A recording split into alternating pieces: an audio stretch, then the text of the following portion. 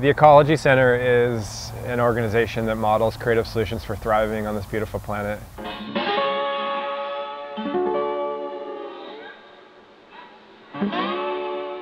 My background is in agriculture and um, I was just always inspired by the idea that we can design human settlements that are beneficial for each other and the planet around us. And at scale, I could see that work in the countries that I was a part of, projects Costa Rica, Mexico, Peru, Nigeria, Ghana.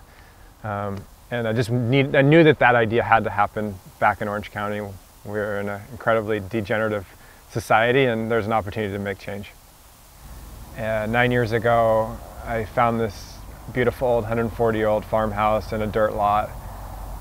And I brought the experience and my passion of ecological design to Orange County so while our venue is an ecological oasis, we consider ourselves in the business of experiential design.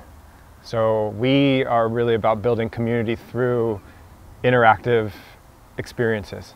Whether it's teaching simple workshops on how to grow food or harvesting the rain or composting our food scraps or learning some interesting culinary um, skills. It's, it also comes into the event experience where we're hosting gorgeous farm dinners and festivals for our community and collaborative events with VISSLA, bringing makers, artists, uh, and, and interesting people to the table to inspire our community.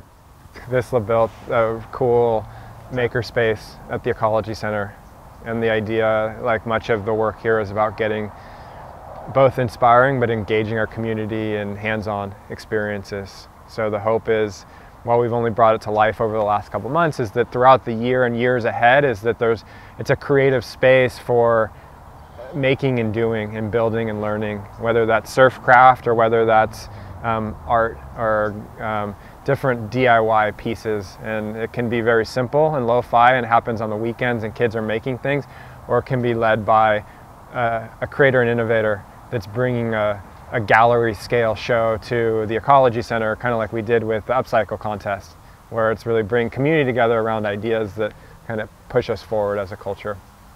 You know, surfers can be overwhelmingly um, self-centered um, in the, with this pursuit. It's a, it's a very personal pursuit, and I think that um, there's something about us stepping back and realizing that we're all in this together, you know, and that finding stoke in many different ways, but the, what's going to sustain our passion for the ocean is ultimately the lifestyle that we engage in. That's what I'm passionate about. That's what I think is is uh, is our strong opportunity to create a healthy ocean rather than a than a than a toxic ocean. Putting the pieces together to build an ecosystem are not overwhelmingly complex because we can look to nature for those examples. So this design exercise was really about how do we put those pieces together that work for this place, that's accessible for the people around here. For example, the front of our house is a, is a simple native landscape. And why natives? It's because they don't use any water and we don't have any water here.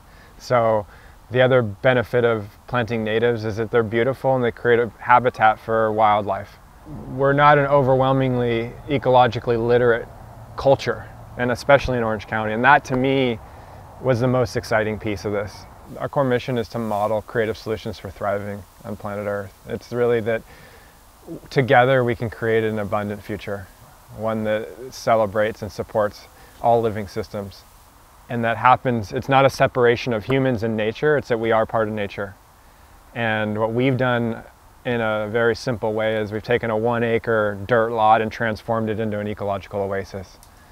And that oasis seeks to inspire all of us that we can be part of something larger than ourselves. And when we just think consciously about what we want to be creating and what we want to be a part of, then it looks and feels and tastes different. And that's the experience that we bring to life here at the Ecology Center every day.